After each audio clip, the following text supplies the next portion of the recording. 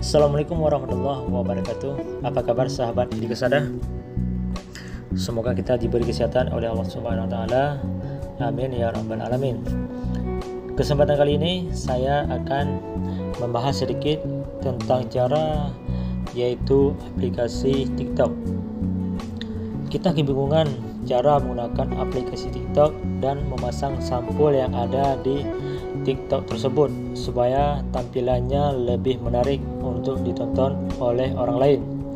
Yang pastinya di sini kita tidak perlu aplikasi tambahan, langsung kita buka ke TikToknya. Bagi kalian yang baru mengunjungi channel ini langsung diklik subscribe dan juga aktifkan loncengnya. Semoga setiap ada video menarik dari saya kalian tidak ketinggalan video-video terbaru lainnya. Supaya tidak terlalu banyak basa-basi lanjut saja ke tutorialnya. Langsung klik TikTok. Di sini kita bisa langsung kita klik yaitu tanda tambah yang ada di tengah-tengah ini setelah tampilannya seperti ini kalian bisa memilih video mana yang ingin kalian upload di tiktok kalian yang ingin kalian bikin sampul di tiktok yang ada di handphone kalian sekarang saya pilih salah satu yang ingin saya pasang sampulnya yaitu video ini setelah tampilan seperti ini, kalian lanjut saja seperti biasa yaitu klik berikutnya. Oke. Setelah itu di sini kalian bisa memilih be, apa namanya? Durasinya bagaimana dan di mana yang harus kalian pasang. Durasinya itu terserah kalian. Yang pastinya kalian langsung saja klik berikutnya setelah kalian setel. Oke, saudaraku semua, setelah itu kalian bisa langsung klik yang namanya berikutnya yang ini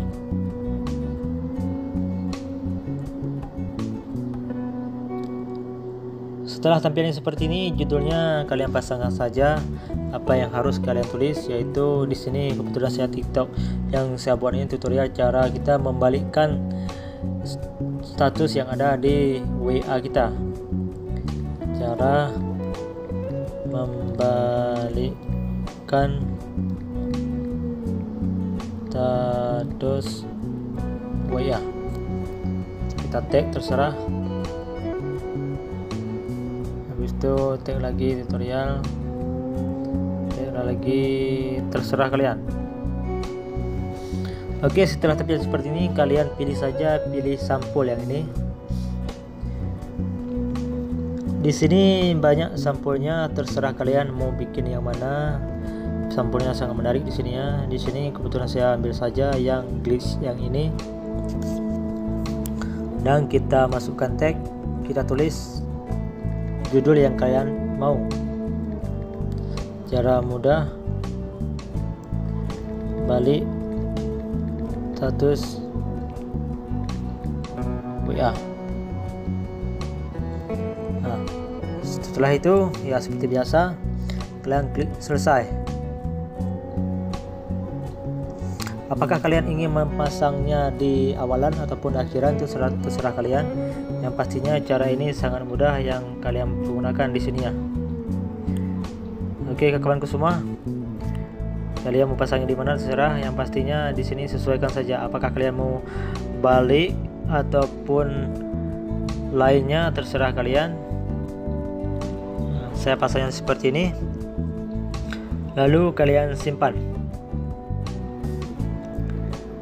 oke saudaraku semua. Setelah itu kalian klik posting. Klik posting.